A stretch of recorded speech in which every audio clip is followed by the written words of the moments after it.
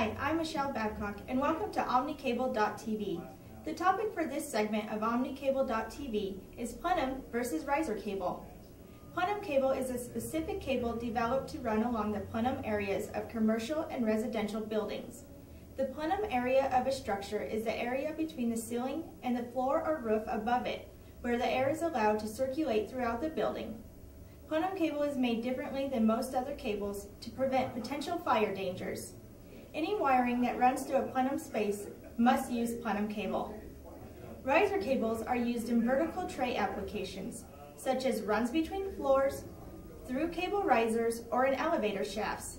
These cables must self-extinguish and must also prevent the flame from traveling up the cable in a vertical burn test.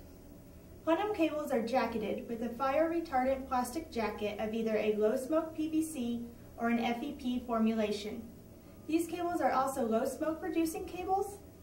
Plenum rated cables are restricted to only allow certain chemicals for manufacture of the wire installation and cable sheet. Typically, this results in reduced flexibility of plastic cables.